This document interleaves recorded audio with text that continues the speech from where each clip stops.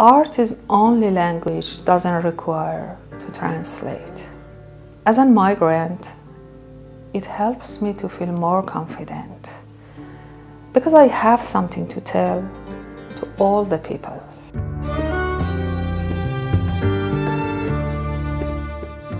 My dream is to see women wherever they are to feel free and liberated, to be allowed to do whatever they want and express their talents and skills.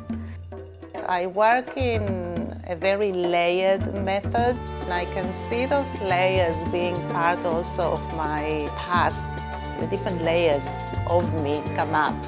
The parts that you want to to just show the parts that I want to hide, the parts that I want to, to change.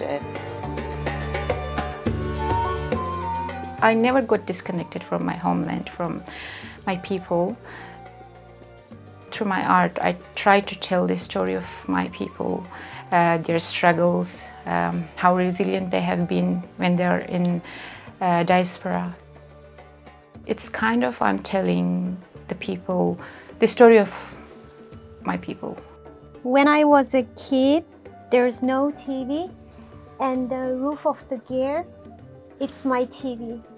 I can stare at like all night and I just compare every patterns and trying to find a mistake.